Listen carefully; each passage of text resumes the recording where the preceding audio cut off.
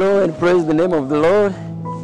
I want to take this opportunity to say thanks to God for this beautiful day, for this great day, that we made it possible for us to come and join together with Growth Ways Church in Kisumu, where we have had a powerful service and God has delivered His people, and the message was powerful.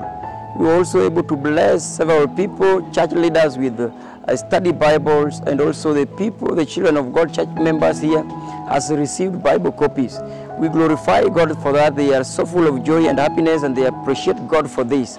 From wherever you are, I ask you to continue praying for us and supporting this cause because we need several Bible copies in thousands in numbers so we can be able to reach thousands of people in Kenya and in entire Africa. Your support, your donation, your prayers will mean a lot to us. God bless you as you do that in the name of the Lord. Amen.